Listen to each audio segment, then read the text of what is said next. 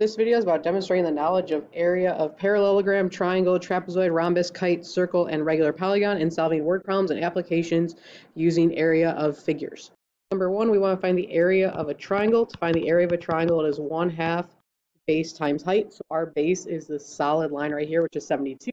We don't know the height yet though, so we're going to use this triangle with the side of 65 to find the using Pythagorean theorem. So when we do Pythagorean theorem, we have 65 squared equals h squared plus 25 squared. 4,225 equals h squared plus 625. When we subtract, we get 3,600 equals h squared. So h is 60. So our height is 60. So we go find the area. We have 1 half of 72 times 60 which gets us a total area of 1,000 or 2,160 feet squared. In number two, we have a trapezoid. So the area of a trapezoid is 1 half times base 1 plus base 2 times the height. So we don't know the height, so we're going to draw a height in here. We're going to bring our smaller base down 13. 53 minus 13 is 40, so we can evenly split that the two triangle bases are 20.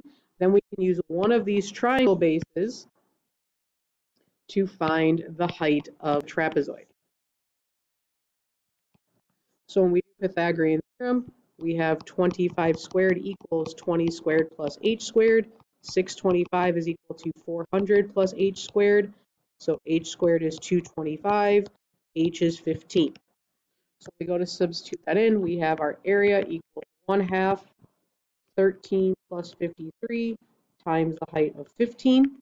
So we get 1 half of 66 times 15. So our area is going to be 495 meters squared. In number six, we want to find the area of a regular hexagon, which is 1 half apothem times perimeter. So if we know the side, we can draw in our apothem to create our 30, 60, 90 triangle. The side splits into 9 and 9, which is the S value. So our apothem is 9 root 3. To get the perimeter, there are six sides that are 18 feet each. So we get perimeter of 108. So our area is equal to 1 half 9 root 3 times 108. Remember, don't put the root what three in your calculator, just multiply the other numbers. So we get 486, and then we put the root 3 at the end, squared. In number 4, find the area of an isosceles triangle with a base of 8 if each leg is 5. So in an isosceles triangle, we have two congruent legs, which are 5 and 5, and we have a base of 8. We can draw in our height, which is going to split the base into 4 and 4 so that we can do Pythagorean theorem. So we have 5 squared equals 4 squared plus h squared, 25 equals 16 plus h squared. h squared is 9, so h is 3. Height is 3, our base is 8. To find the area of a triangle, it is 1 half base times height. So we have 1 half times 8 times 3, 12 millimeters squared.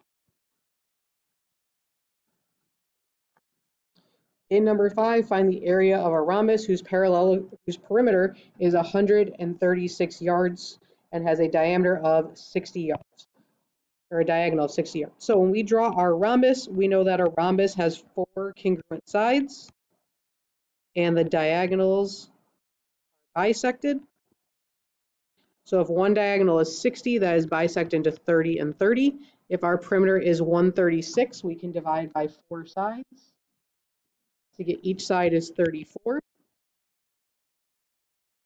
So we can do Pythagorean theorem to find the length of the missing diagonal. So 34 squared equals 30 squared plus x squared.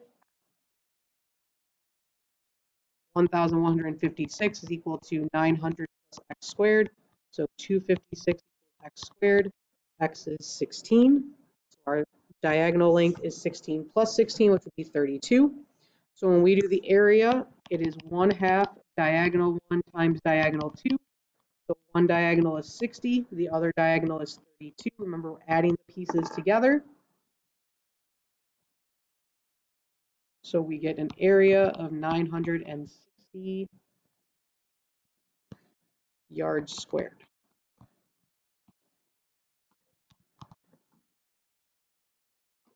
Number six, find the exact area of the kite. So we know that the shorter diagonal is bisected. We need to use Pythagorean theorem though to find the missing diagonal lengths.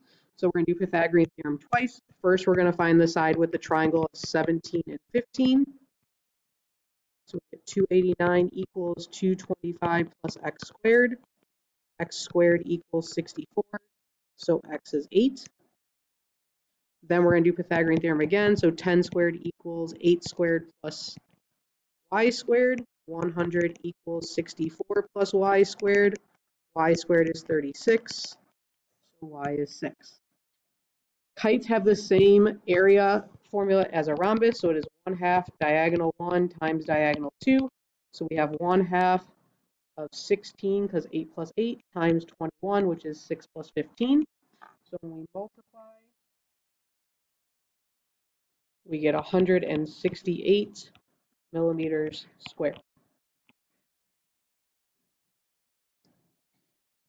Find the area of the shaded region. So in number seven, we have two circles here. So we want to find the area of the bigger circle minus the area of the smaller circle. So our bigger circle radius is seven. So seven pi seven squared minus pi three squared. Remember, we have to square our numbers first. So 49 pi minus 9 pi will get us 40 pi millimeters squared. In number eight, we have the area of a square minus the area of a circle.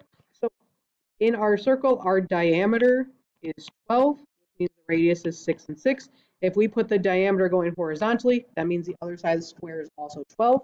So the area of a square is base times height. 12 times 12, which is 144, minus the area of a circle, pi r squared, so pi 6 squared, 36 pi. One is a number, one has pi, so they cannot combine together.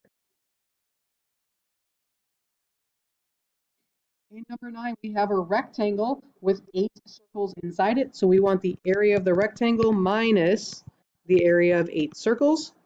So if our side length is 16, that means two diameters are put together to be eight and eight, which then means we can split that diameter in half to four and four. Now, if we stack four diameters on top of each other that are all 8, that means the missing side of the rectangle is 32.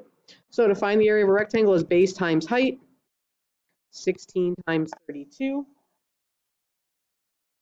which is 512, minus, we have 8 circles, which are pi r squared, so 8 times pi 4 squared.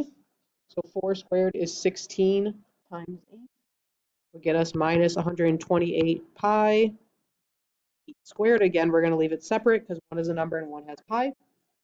In number 10, we have a square and a triangle inside it. So we want the area of the square minus the area of a triangle. So the area of a square is base times height, 8 times 8, which is 64. Area of a triangle is 1 half base times height. So our base of the triangle is 8. Our height is going from one side of the square to the other, so it's also 8. So 1 half 8 times 8 which will get us minus 32, so 32 inches squared.